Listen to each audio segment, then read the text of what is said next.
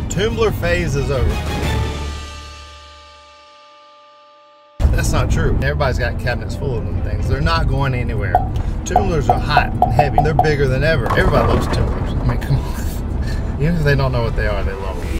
I have realized that when I talk about tumblers, people have no idea what I'm talking about. What's that? You know, still like a Yeti. Uh, oh, yeah, yeah. Why don't you just say Yeti? Because it's not a Yeti. Yeti's a name brand. I can't just say that I'm using Yetis all the time. Most of the time I'm using like Steel Magnolia because I love Steel Magnolia tumblers. And you, this doofus about hit me in the back. I would have been recording at least. One of my goals is to normalize the term tumblers. It keeps your water exactly the same temperature for 24 hours. It keeps me incredibly hydrated. I have one in my car, one in my house, one in my bedroom. Like I'm obsessed it. It just makes drinking water extremely fun. Maybe I'll just call them toomblers like I always do instead of tumblers because tumblers has a lot of definitions. Like my girl right now is at tumbling. She's tumbling. There's rock tumblers. There's that stupid social media Tumblr that forgets to put the E, and every time I type tumbler, it autocorrects to that word, which does anybody even use that anymore? I've realized that I just need to get back to the love of just creating and showing you guys all this stuff. The sun is really bright over here. The simplest little things that I love doing, but you might not know about. And when I show you, you're gonna be like, what?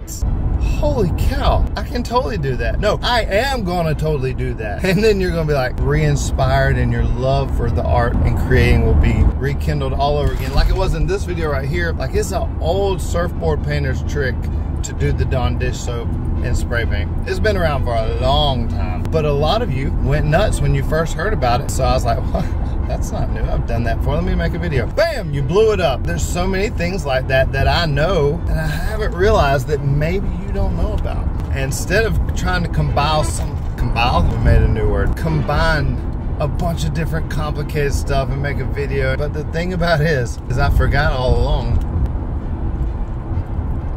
it's just the, the simple things that got me to here with you where I am now. We're gonna get back to the real purpose and meaning for me making these videos. Don't you pull out in front of me. I want to mix in some things like flipping items, going to Facebook Marketplace, thrift stores, yard sales, everything I show you on this channel. For the tumblers, you can literally do it on almost anything. I love you guys. I appreciate it.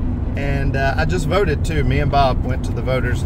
I got a comment on my shirt. She loved, she's like, oh, I love Bob Ross. I said, yeah, isn't he great? All right, I hope you all stick with me. I hope you all will jump on, encourage, and enjoy the ride because ultimately we gotta make money. We gotta we gotta make this sustainable. If you want to join on the ride, if you're not subscribed, go ahead and subscribe if you don't want to miss that. Drop me some comments and stuff you'd like to see.